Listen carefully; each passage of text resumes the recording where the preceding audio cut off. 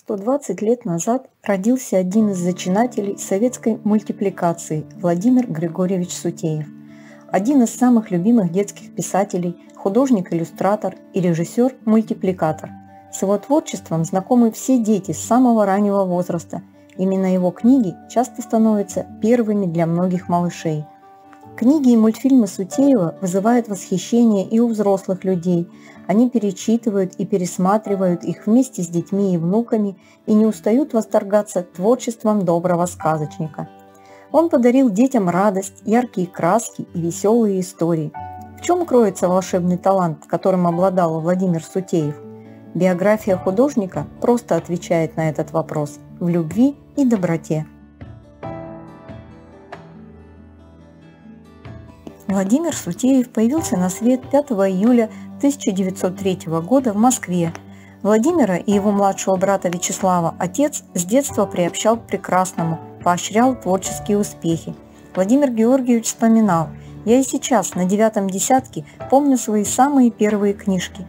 Одной из самых первых, прочитанных самостоятельно, был «Таинственный остров» Жюля Верна.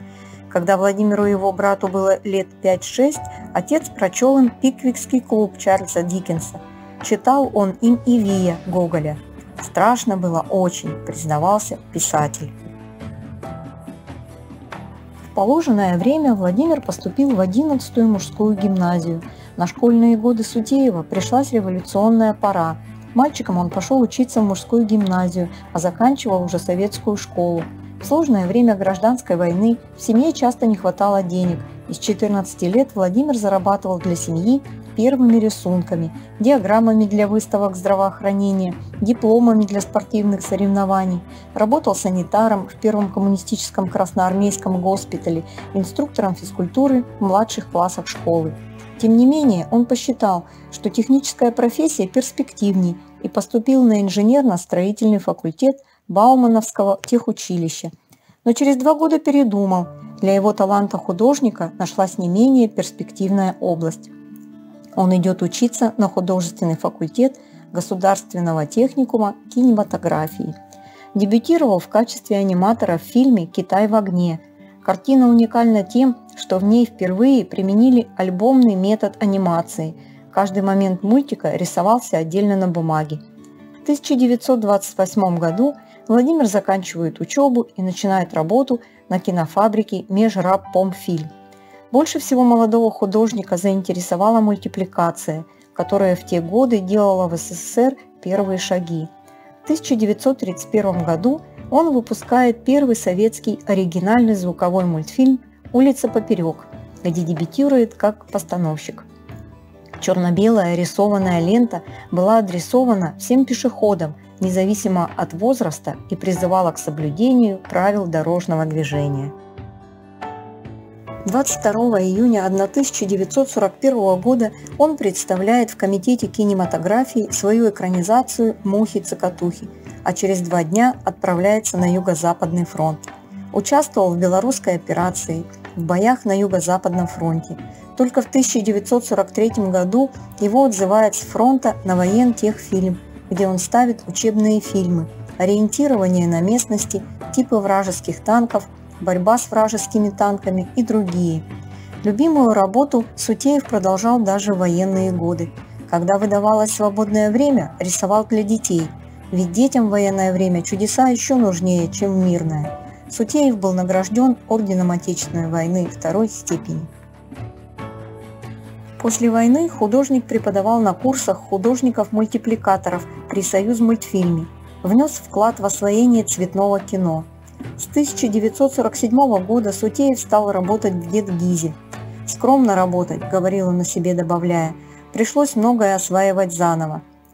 Сутеев осваивал способ превращения мультфильма в книжку-картинку, а это дается не каждому художнику. Мы все росли на его книгах с рисунками, ведь он иллюстрировал добрую половину детской книжной классики середины прошлого века – с иллюстрациями Сутеева вышли книги Радари, Чуковского, Барто, Маршака, Михалкова и других классиков детской литературы. А начал он свою писательскую карьеру с альбома «100 картинок» – веселых, милых, добрых.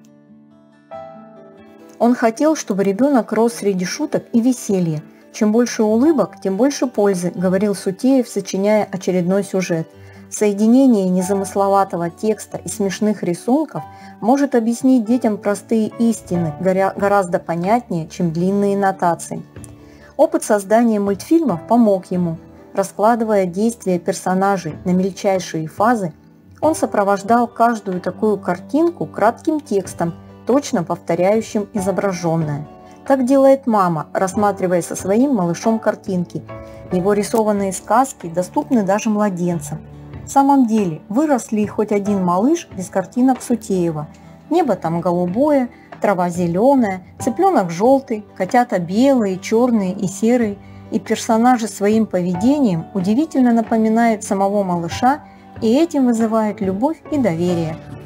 В его книжках всегда много юмора, помогающего без морализации объяснить малышу простые жизненные истины. Изданные книги с иллюстрациями Владимира Сутеева и не перечислить.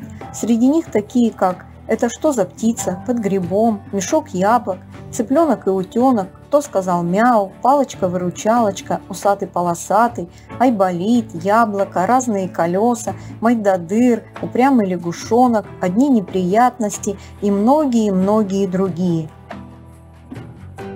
Владимира Сутеева порой спрашивали, откуда взялось его сказочное дарование.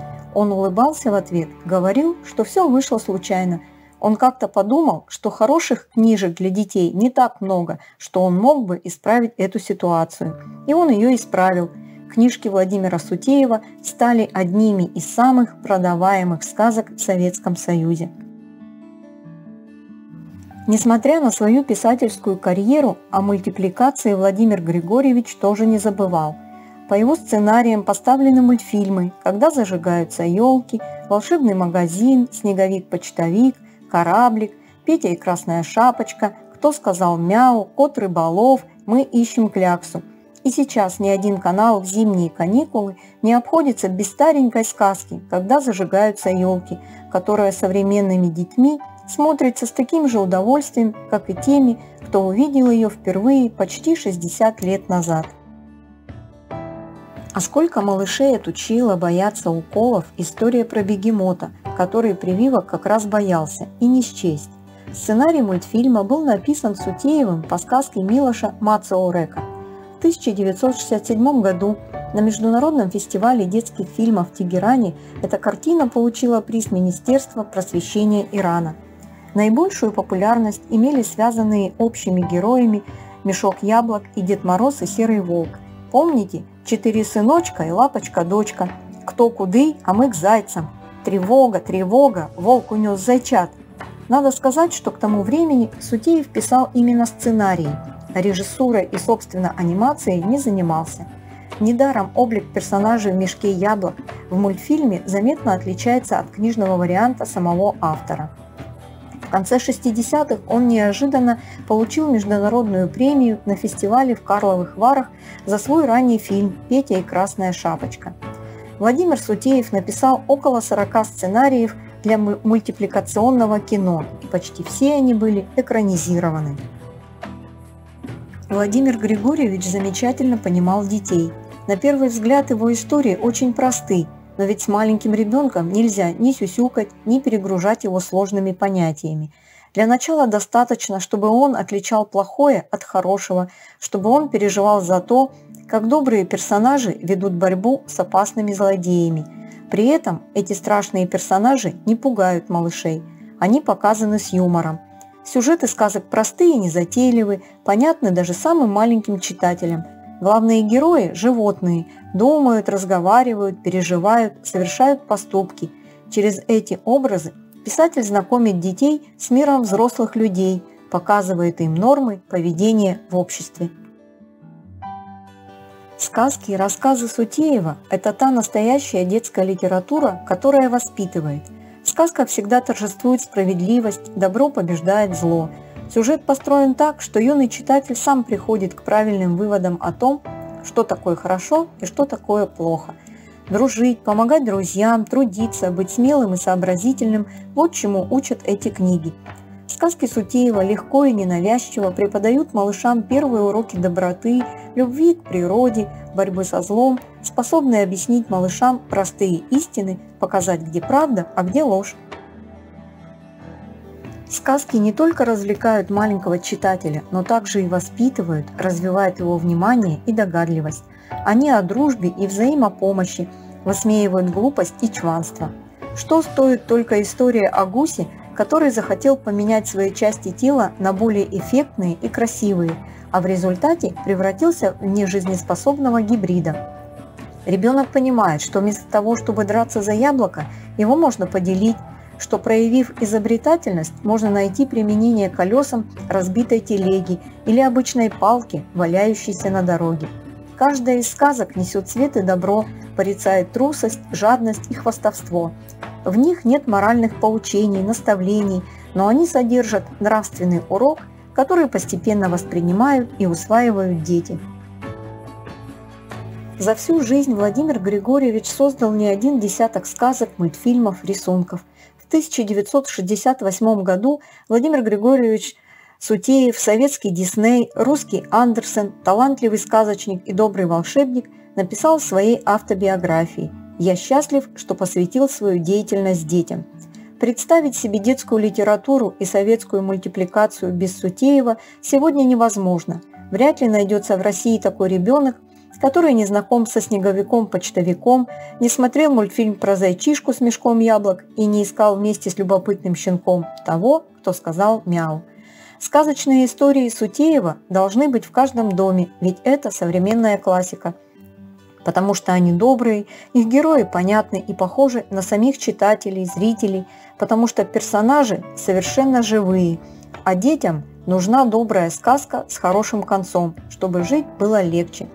И сутеевские книжки и фильмы именно такие, ведь его сказки – это целый кладезь знаний, которые автор ненавязчиво в доступной форме передает малышам. Они учат всему доброму и прекрасному.